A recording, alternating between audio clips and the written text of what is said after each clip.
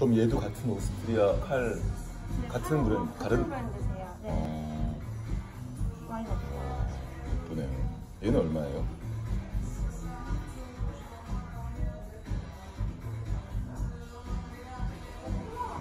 훨씬 비싸겠군요. 음, 38만 원이요. 그러면 얘는 그 뚜껑 와인에 그걸로 쓸 수 없고 얘는 쓸 수 있는 건가요? 그럼 그냥 그냥 그냥 고정일 뿐인가요? 예를 들어 얘를 와인을 마시고 그냥 꽂아 네, 용도로 그거- 쓰면 안 되는 거죠. 아니요, 그 용도 아, 그렇게 쓰는 거예요? 되세요. 네. 음. 그래요? 45만 원, 38만 원. 아 올라갔네요. 네. 아, 네, 38만 원.